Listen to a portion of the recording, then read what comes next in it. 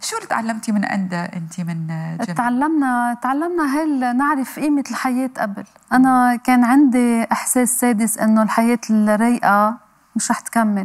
كان عندي الإحساس. وصارت. بس صار بس صار هيدا الحدث بحياتنا. كأنه كنا محضرين أو إنه ما بعرف شو اللي خلينا نتقبل. كان صعب أكيد كان صعب المرض خاصة إنه طبيب وإنه بيعرف لوين واصل. يعني أوقات بيقولوا له هينة إنك تكون طبيب وتعرف وين واصل بقول لهم لا أصعب. انقلبت حياتنا أحلامنا وقفت.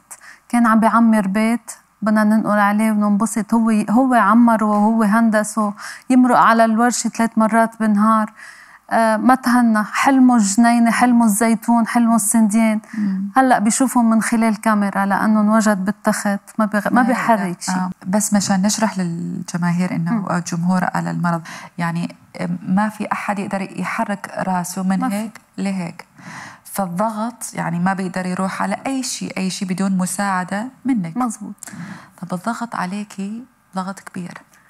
وإحنا ما بنحكي على الضغط اللي واجهة اللي يعتني بالمرض. مزبوط.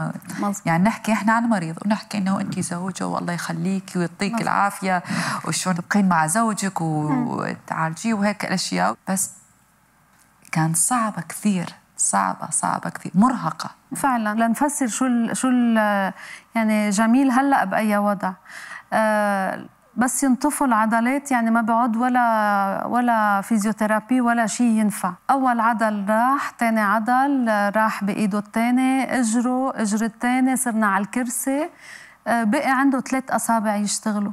ثلاث أصابع أنا اخذه وجيبه. قررت إنه أنا أنا بدي ضل معه. مم. وهون بس تحسس المريض إنه أنا ما بتركك أنا معك هون بتبلش حبه للحياة. آه. لأنه فيها خوف هيدي إنه أنا رح انوجد راسي ما بقدر هزه. وهيدا فعلا يعني الصعوبة إذا بده يبرم راسه ما بيقدر أنا بدي أبرم له راسه. ما في شيء هلأ بالوقت الحاضر بيتحرك بجميل.